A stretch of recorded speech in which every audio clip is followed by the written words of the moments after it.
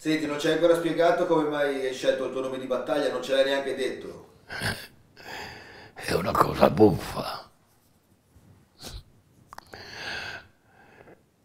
Io vado lungo il bosco di Niella Belbo e sono quasi a San Benedetto.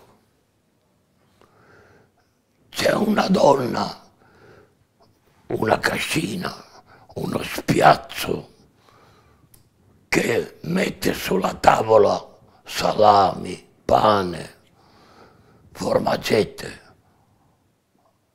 E io guardo, avevo una fame terribile. Allora questa donna entra e di nuovo nella cascina e io corro, prendo un salame intero, quattro pagnotte, quasi non li potevo portare, è una formaggetta.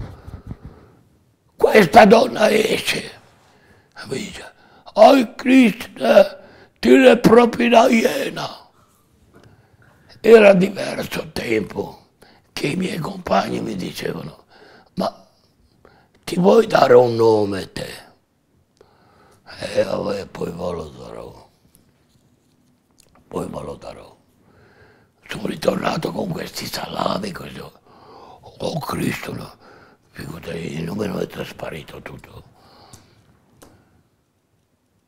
Da oggi mi chiamerò Iena, Iena, oh Cristo, no.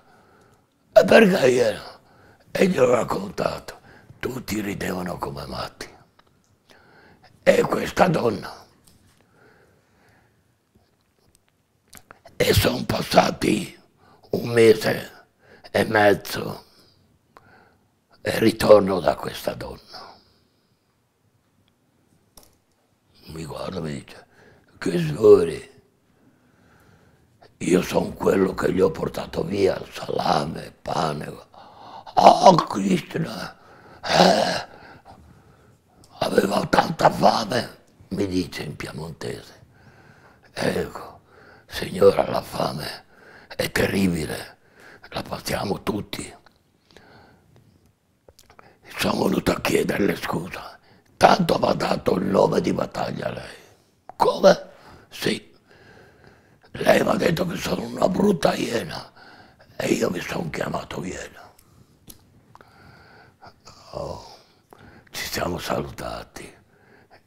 Lei ha capito il perché io ho portato via il mangiare. Perché lei preparava il mangiare per i contadini che lavoravano e che poi sarebbero venuti.